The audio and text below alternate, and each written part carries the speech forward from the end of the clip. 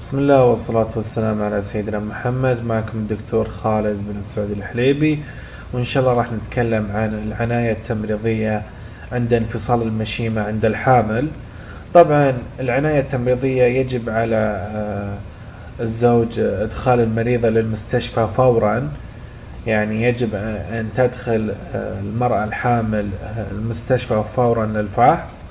وأيضا يجب عليها يعني قياس آه، النبض آه، الضغط كل ربع ساعة أو كل نص ساعة. وأيضا يجب أخذ عينة آه، بول وقياسها ومعرفة أنواع الأمراض الموجودة وكمية الزلال الموجود في الجسم. وأيضا عدم وضع الوسائد يعني تحت الرأس وعدم رفع قدم المرأة الحامل.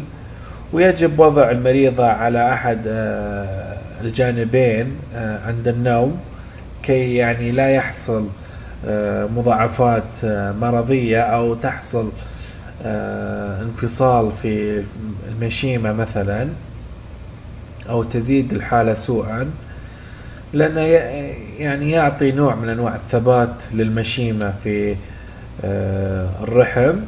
وأيضا آه، إذا كانت يعني في الأشهر الأخيرة قد يكون يعني التوليد من اختصاص آه، الطبيب والتمريض آه، والممرض عن طريق يعني مساع نحتاج إلى مساعدين وممرضين لهذه الحالة بالتحديد يعني. ونحتاج إلى أخصائي مختص في هذا المجال كي يفحصها بشكل جيد. إذا كانت تحتاج إلى مثلا آه، توليد سريع أو آه، أو لا يعني آه، إلى هنا انتهى الدرس. كان معكم الدكتور خالد بن سعود الحليبي وإن شاء الله نشوفكم في درس قادم.